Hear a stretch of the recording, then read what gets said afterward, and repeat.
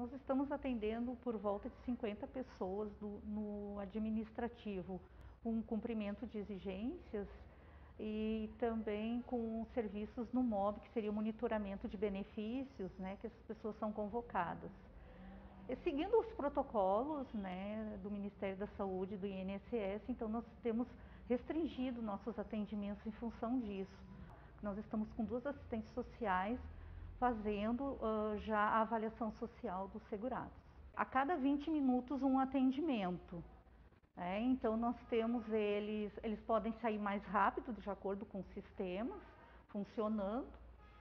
Então isso faz com que uh, não dê aglomeração de pessoas.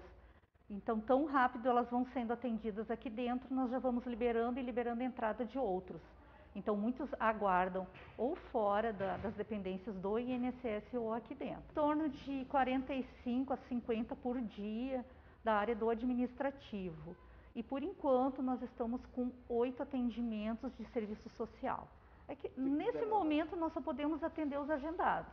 Né? Só o cumprimento de exigência, o serviço social, que as pessoas estão sendo convocadas, e também, além disso, monitoramento de benefícios, que são aqueles benefícios que podem estar com algum problema identificado pelo servidor, as pessoas são convocadas para apresentar documentos. E nós temos também, desde 20 de julho, nós temos a urna expressa, que são aquelas pessoas que não conseguem agendar, não conseguem anexar documentos né, no sistema do meu INSS, no aplicativo, aí, então elas podem trazer cópias simples de documentos e colocarem na urna que nós temos ao lado aqui disponível para o cidadão. Aí é sem agendamento.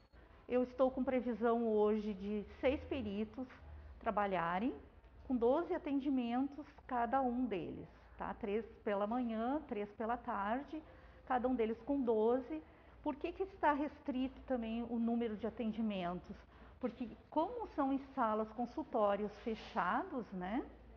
Há necessidade de fazer a higienização após cada atendimento. Então, seguindo todos os protocolos né, de higienização, é feito, na saída de cada segurado, é feita a higienização da sala e de todos os equipamentos manipulados ali né, pelo perito ou que a pessoa tenha manipulado e higienizado para depois ser chamada outra senha.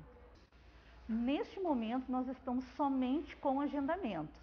Então, é importante que a pessoa busque os canais remotos, como o aplicativo do meu INSS para realizar os seus agendamentos desses serviços que nós estamos prestando presencialmente e também aqueles que estão sendo realizados uh, à distância, né? porque ele ainda pode anexar os documentos através do aplicativo.